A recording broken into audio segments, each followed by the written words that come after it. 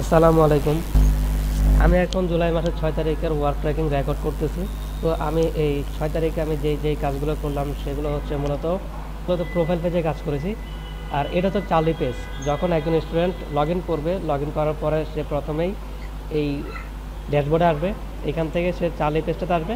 আসলে তার যে ছবি আছে ফটো সেই ফটোটা এখানে দেখাবে। নাম ক্লাস তারপরে ওর সেকশন নেম স্টুডেন্ট আইডি এই বিষয়গুলো এখানে প্রথমেই দেখা যাবে।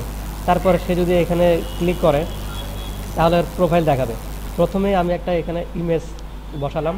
এই ইমেজটা মূলত সেই ইমেজ যে ইমেজটা অ্যাডমিনরা স্টুডেন্ট যখন ভর্তি হবে, তখন যে ইমেজটা এখানে সেভ করে দেবে, সেই ইমেজটাই এখানে শো করবে।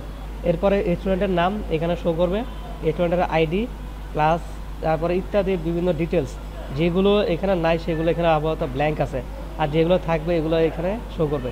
এরপর এখানে ক্লিক করলে অটোমেটিক আবার ড্যাশবোর্ডে চলে আসবে। এটা এখানে এটা ড্যাশবোর্ড হিসেবে চলতেছে ক্যালেন্ডার এখানে আসলে সে তার যে ডেটে ক্লিক করবে, সেই ডেটের এখানে টাস্ক দেখতে পাবে আর কি।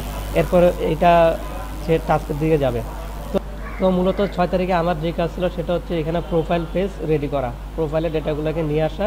এরপরে আবার এখানে যে চালি পেজ আছে, চালি পেজের মধ্যে ছবি এবং নাম ইত্যাদি ডেটাগুলো সেভ করা।